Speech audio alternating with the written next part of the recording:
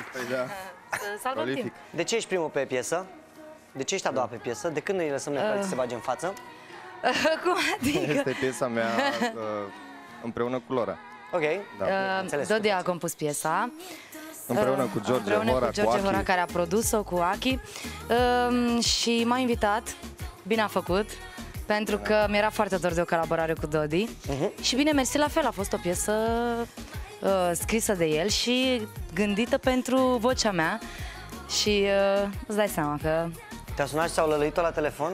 George Hora. Ah, Era cu vocea mea, cred, nu? Uh, Sau te-a da, chemat era- la studio oficial? m-a- Mi-au trimis, mi-au trimis, uh, Dodi mi-a trimis piesa cu vocea lui. A, da? Și a fost foarte Era un drăguț. demo cântat de mine și în timp ce înțeles. am făcut linia de refren, mi-a venit direct timbrul vocal, am ei. Nu e rău deloc. Uh, mulțumim tare mult. Trebuie să ne spui unde sunt filmate cadrele de plajă. Uh, unde la... Is- is Tuzla, Ru- da, Ru- Tuzla. România? România? Da, România, România. da. Da, și Predeal.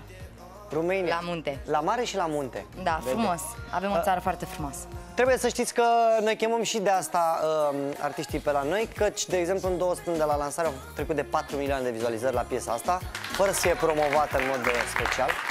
Acum mai întreabă lumea de ce nu-mi chem rudele. Eu am rude care cântă, dar n-au vizualizări și țin Ah, acasă. atunci da. Să stea naibii de săraci, când au dat ei și ei odată. Uh, așa ne alegem uh, uh, artiștii care vin uh, pe la noi. Mulțumim că ați trecut pe la noi. Cu mult drag, mulțumim Noi că ne-ați mulțumim. primit. Să meargă bine piesa. La mea. Luăm o scurtă pauză după